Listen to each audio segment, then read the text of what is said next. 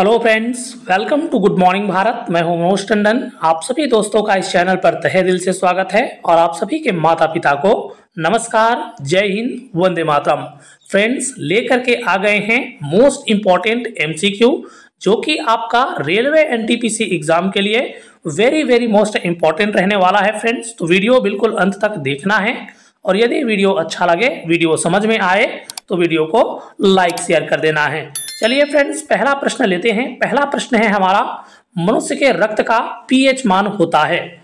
आपको बता देना है फ्रेंड्स कि मनुष्य का जो रक्त है, उसका पीएच मान कितना होता है। ठीक है? तो मनुष्य के रक्त का पीएच मान होता है फ्रेंड्स 7.4 ऑप्शन नंबर बी इस प्रश्न का सही आंसर हो जाएगा। अगला प्रश्न लेते हैं। अगला प्रश्न है, डीजल इंजन के सेक्शन में क्या होता है? तो डीजल इंजन के सेक्शन में क्या होता है? आपको बताना है फ्रेंड्स।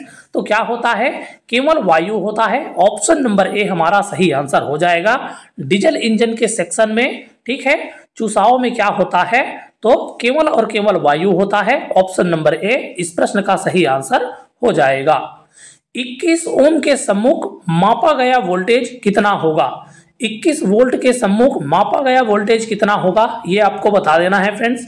तो देखिए, इस 21 को हम लोग क्या करेंगे? चार वोल्ट से गुणा कर देंगे तो इस प्रकार से क्या हो जाएगा? इक्कीस चौक चौरासी हो जाएगा ऑप्शन नंबर डी। हमारा सही आंसर हो जाएगा।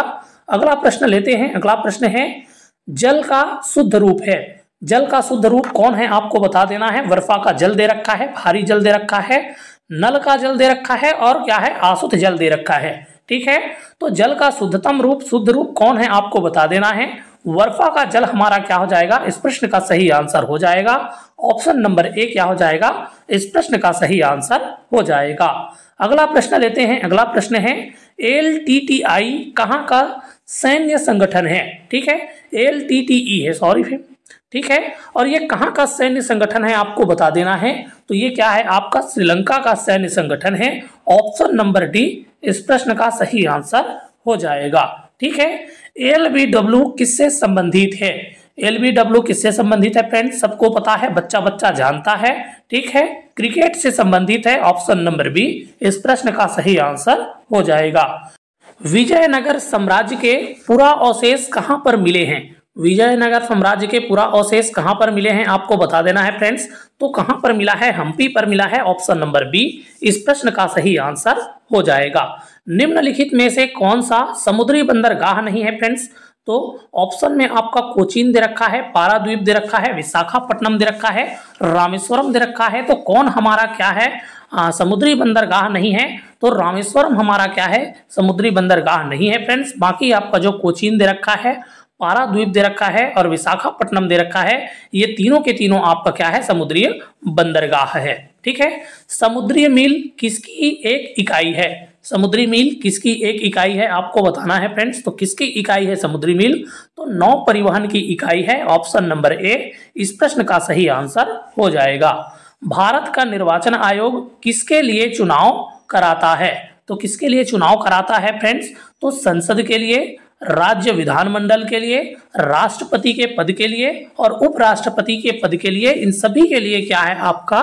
भारतीय निर्वाचन आयोग, ठीक है? क्या कराता है? चुनाव कराता है? तो ऑप्शन नंबर डी इस प्रश्न का सही आंसर हो जाएगा। ठीक है? ऊर्जा क्या है फ्रेंड्स तो ऊर्जा क्या है? काम करने की क्षमता को हम लोग ऊर्जा बोलते हैं। इसमें दे रखा है ऑप्शन नंबर फ़ी ऑप्शन नंबर फ़ी क्या हो जाएगा? इस प्रश्न का सही आंसर हो जाएगा। ठीक है? गेज दाब किसके बराबर है? गेज दाब किसके बराबर है? आपको बता देना है। ऑप्शन में दे रखा है पूर्ण दाब, वायुमंडलीय दाब, शून्य दाब या फिर पूर्ण दाब, कम वायुमंडलीय दाब। ठीक है? तो गेज किसके बराबर होता है? ऑप्शन नंबर डी, पूर्ण दाब, कम वायुमंडलीय दाब क्या हो जाएगा? इसका सही आंसर हो जाएगा। ठीक है?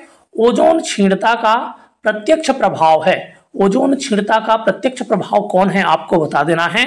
तो ओजोन क्षीणता का प्रत्यक्ष प्रभाव है, वो है आपका प्राबैगनी और विकिरण की वृद्धि, ठीक है? प्राबैगनी सौर विकिरण की क्या है?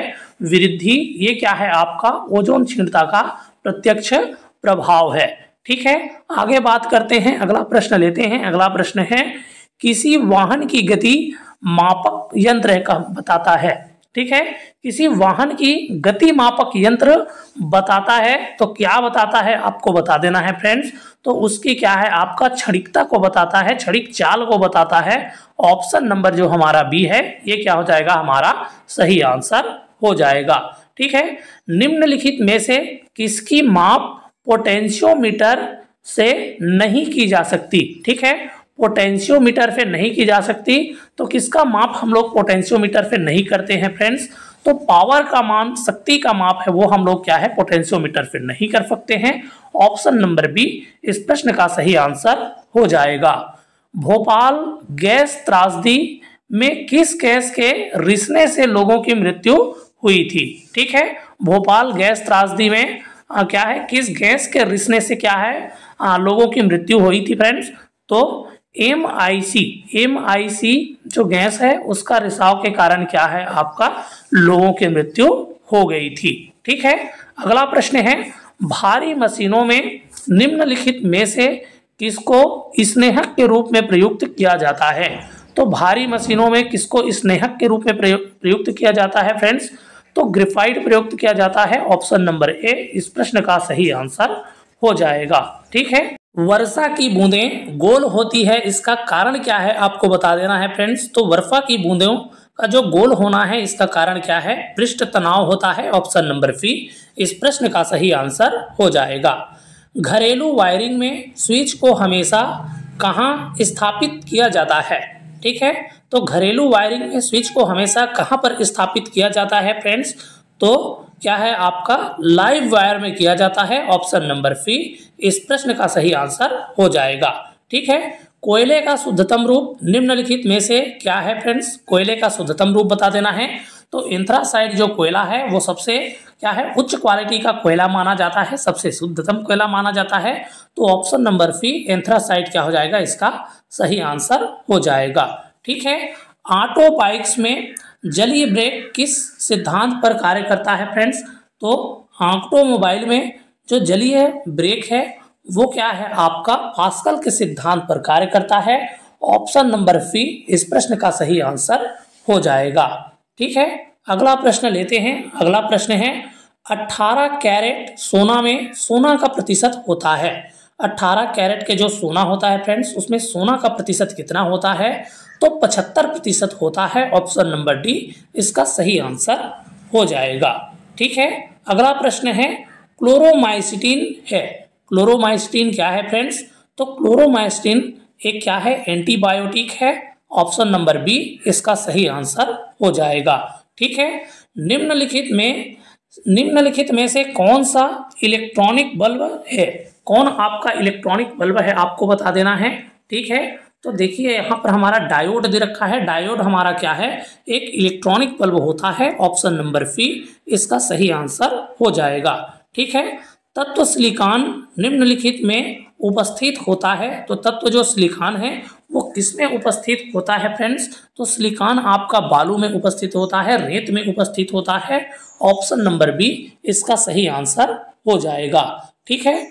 निम्नलिखित में से कौन सा आधुनिक टैंक है? आधुनिक टैंक आपको बता देना है। भीम दे रखा है, आकाश दे रखा है, अर्जुन दे रखा है और पृथ्वी दे रखा है, ठीक है? देखिए, इन सब में से आपका आधुनिक टैंक की बात करें तो इसमें से सबसे आधुनिक क्या है हमारा? अर्जुन है, ऑप्शन नंबर फ़ी इसका सही आंसर हो जाएगा, ठीक है? एक परिपूर्ण गैस किसका अनुवर्तन करता है? तो किसका अनुवर्तन करता है फ्रेंड्स? तो बायल्स नियम और चार्ल्स के नियम दोनों का क्या है? अनुवर्तन करता है। ऑप्शन नंबर सी इसका सही आंसर हो जाएगा। ठीक है? सर्किट का पूर्ण प्रतिरोध किसका कितना होता है? ठीक है? सर्किट का जो पूर्ण प्रतिरोध है, वो कितना होता है फ्रेंड्स? तो 25 ओम होता है। ऑप्शन नंबर ए, इस प्रश्न का क्या है? सही आंसर हो जाएगा। ठीक है? तो ये था फ्रेंड्स मोस्ट इंपॉर्टेंट एमसीक्यू उम्मीद है वीडियो आपको पसंद आया होगा हेल्पफुल लगा होगा नॉलेजेबल लगा होगा। यदि वीडियो आपको हेल्पफुल लगा है नॉलेजेबल लगा है तो वीडियो को लाइक शेयर कर देना है और आगे इसी प्रकार की जानकारी के लिए चैनल को सब्सक्राइब कर लेना है। चलिए फ्रेंड्स फिर मिलेंगे ऐसी ही वीडियो के साथ। तब तक के लिए स्वस्थ रहिए, मस्त रहिए और एकदम शानदार तरीके से, एकदम ज़बरदस्त तरीके से पढ़ते रहिए। नमस्कार, जय हिंद वंदे मातरम।